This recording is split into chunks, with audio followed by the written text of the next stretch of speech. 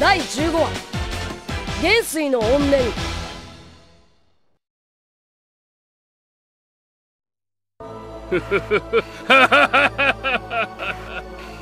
よくぞ封印を解いてくれた。でかしたぞ。父上。元帥様。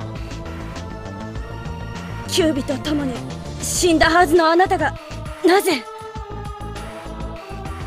ご苦労だったな。天路の小娘よ。三頭の力を手に入れた今貴様らにはもう用はない。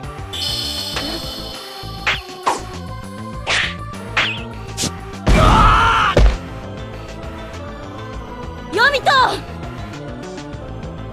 何をなさるのですか？長年わしはこの木が来るのを待っていた。そしてついに天路と天霧の因縁にけりをつける時が来た。血迷ったか。何とでも言うがいい。恨むなら天路に生まれた己の不運を恨むがいい。ああ狼狩り一匹目と行こうか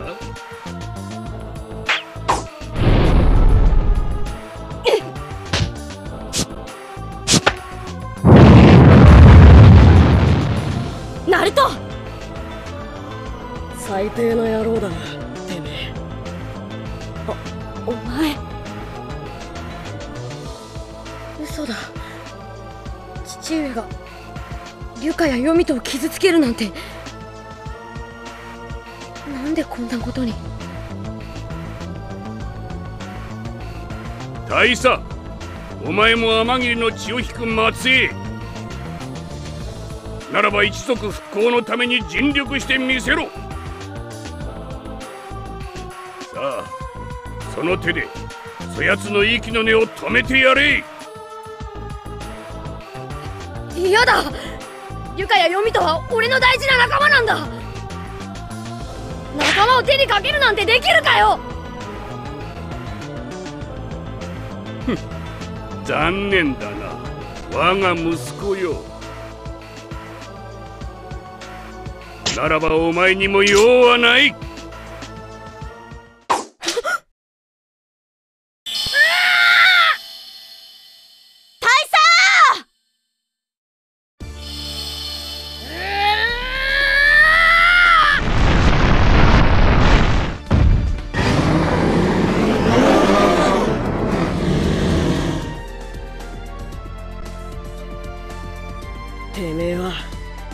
こいつらの気持ちを考えたことはあるのかよ。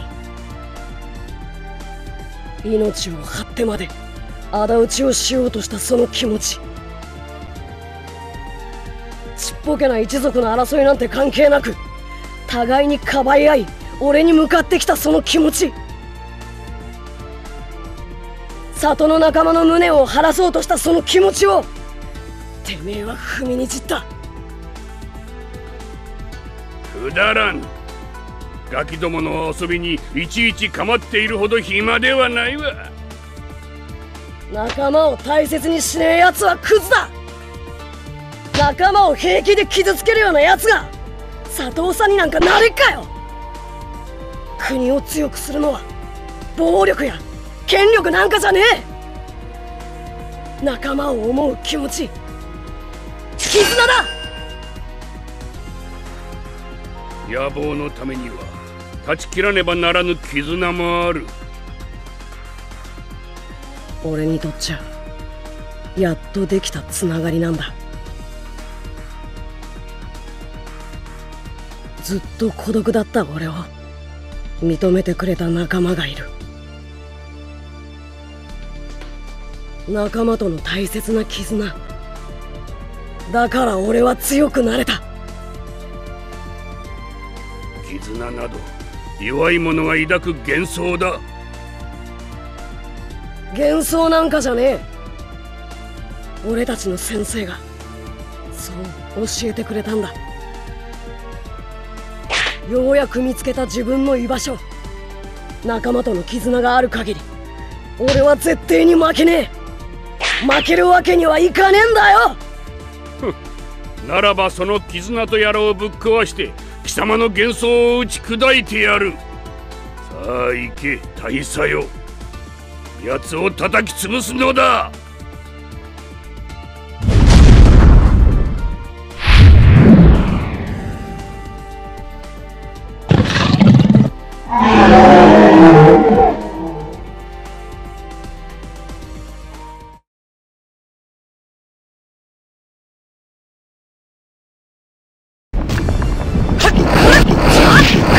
影分身の術はっちゃよっ